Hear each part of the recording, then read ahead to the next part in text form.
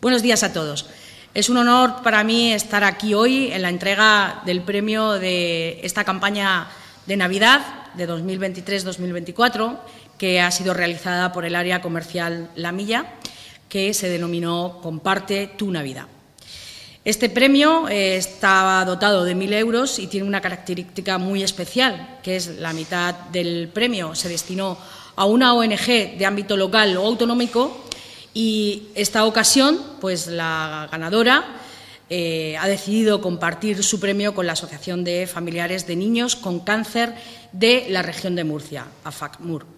Tenemos el honor de que esta mañana pues, nos acompaña aquí eh, Paco Palazón, el presidente de AFACMUR, que ha venido hasta Cartagena para poder pues, recoger este premio con tanto, tanto corazón puesto, nunca mejor dicho. Yo me siento muy orgulloso de venir a Cartagena a recibir este, este premio y, bueno, eh, un, un, acto más de solidaridad que hace la población de Cartagena con la asociación.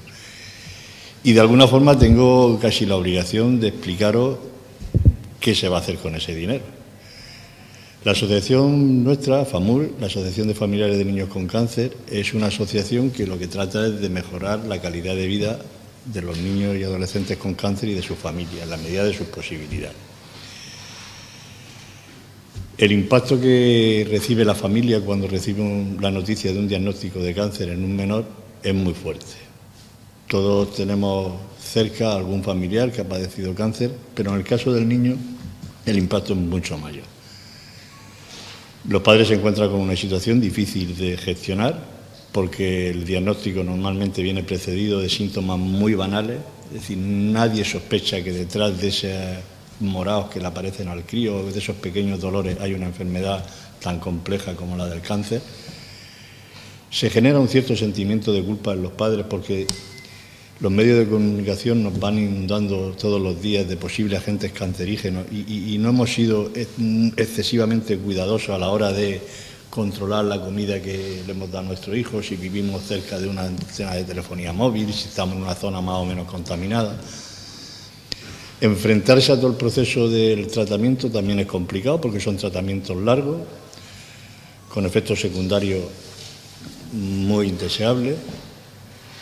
Y enfrentarse a la evolución también es difícil, porque cuando el crío supera la enfermedad siempre hay una especie de espada de Damocles encima de las cabezas de los padres que cada vez que aparece cualquier síntoma, por banal que sea, parece que nos lleva a pensar que a lo mejor una posible recaída. Y en el caso de que el crío fallezca, pues lógicamente afrontar una situación de duelo de un hijo es una de las cosas más difíciles que hay.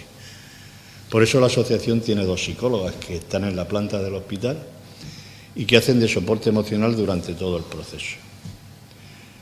Tenemos también un trabajador social porque la situación laboral de los padres mmm, cambia mucho cuando tienen un, un, diagnóstico de cáncer. Es muy difícil mantener el trabajo en las mismas condiciones cuando tiene un crío que aparte de ingresos más o menos prolongados, pues puede, tiene que ir cada dos, dos, veces a la semana, cada X tiempo al hospital a ponerse la quimio.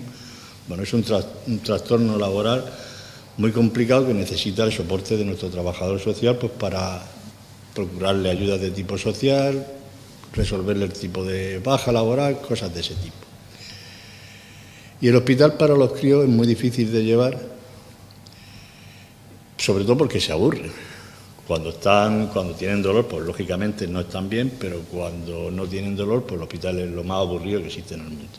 Por eso tenemos dos educadores que junto con los voluntarios, pues tanto cuando el crío va al hospital de día para ponerse la quimio, como cuando está ingresado en planta, pues tienen asegurado un poco la distracción durante todo el día. Y eso es lo que hace AFAMUR, eso y, y, y, y cuidar los pequeños detalles de la estancia en el hospital. Pues hemos puesto frigoríficos, una cafetera, un microondas, que son detalles que pueden parecer insignificantes, pero cuando uno está en el hospital durante mucho tiempo, tener un frigorífico, tener un microondas donde pueda calentarle al crío las croquetas que le ha hecho la abuela, cosas de ese tipo, pues viene muy bien. Y para eso va a servir ese dinero, para poder seguir manteniendo un poco la actividad que hacemos todos los días. Yo agradezco a, a la organizadora de, de, de este evento el que se haya acordado de nosotros y a toda la población de Cartagena que de una manera u otra han participado en esto. Muchas gracias a todos.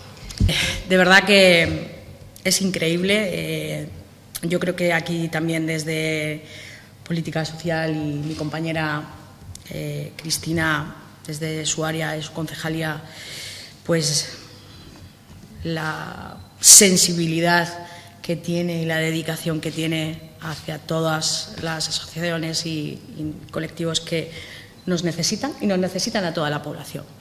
Porque hoy estamos bien, pero mañana podemos estar mal. Y entonces parece que es cuando nos acordamos, ¿no?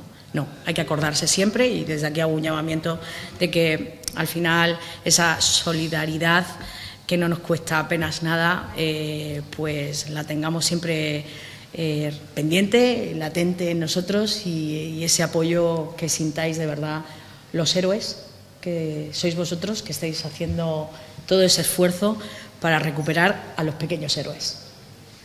Gracias, Paco, de verdad. Bueno, Esperanza, gracias, de verdad, y enhorabuena por, por esta iniciativa, como comentaba eh, Paco.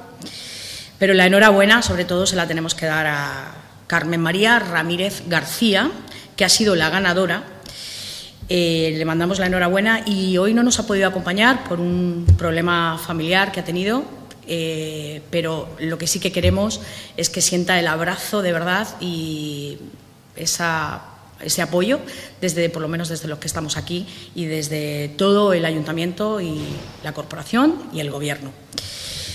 Eh, Carmen, cuando ella esté bien y lo desee, pues que venga por favor por aquí, que nos demos un abrazo y nos tomaremos un, café.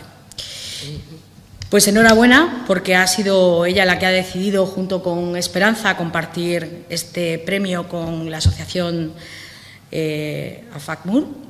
Y este premio no solo representa ese logro personal, sino también un gesto significativo que impactará positivamente en lo que es la comunidad. Compartir un premio no es solo el acto de desprendimiento, sino también es ese acto de amor y es una forma de demostrar que nos preocupamos por los demás y que queremos ayudar a los que más nos necesitan. Pues este año la temporada navideña se ha iluminado pues aún más pues con esta generosidad ¿no? por parte de la, Asociación de Comerciantes y esa mitad de premio de 500 euros pues será destinada a la causa que toca, pues como hemos hablado, de amor y de corazón, el corazón de todos.